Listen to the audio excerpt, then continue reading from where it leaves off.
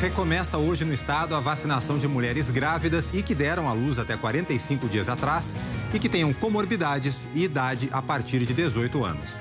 A vacinação desse público foi suspensa na semana passada, depois que a Anvisa recomendou que a vacina da AstraZeneca, Fiocruz, não seja usada nessas pessoas.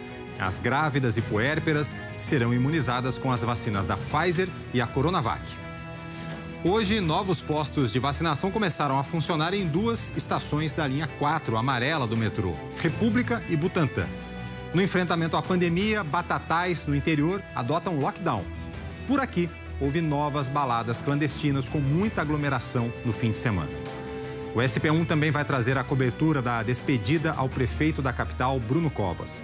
O corpo dele foi sepultado em Santos numa cerimônia reservada no mesmo cemitério onde foi enterrado o avô, Mário Covas. O vice, Ricardo Nunes, que já estava como prefeito em exercício, tomou posse do cargo. Nesta manhã, ele visitou um posto de vacinação contra a Covid no estádio do Palmeiras e destacou o aumento no número de leitos como um legado importante de Covas. São Paulo também se despediu da atriz Eva Vilma.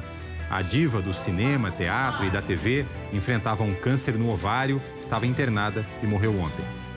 O SB1 começa daqui a pouco, ao meio-dia, logo após o encontro. Até já.